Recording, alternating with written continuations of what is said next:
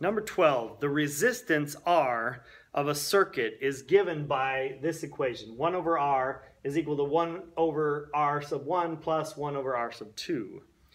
Find R if R sub 1 is 10, 10 ohms, and R sub 2 is uh, 15 ohms. All right, so, um, so let's plug in. So we have 1 over R is equal to uh, 1 over 10 ohms, that's R sub 1, plus 1 over 15 ohms, that's R sub 2.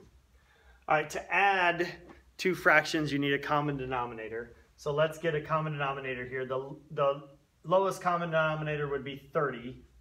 So 1 over R is equal to 1 tenth is the same as 3 thirtieths. And two, uh, 1 15th is the same as 2 thirtieths.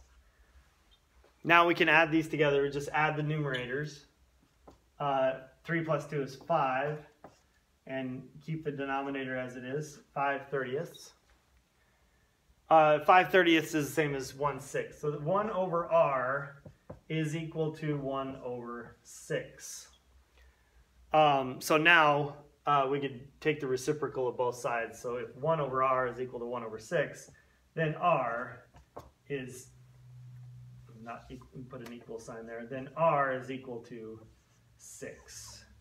So 6 ohms is going to be our answer.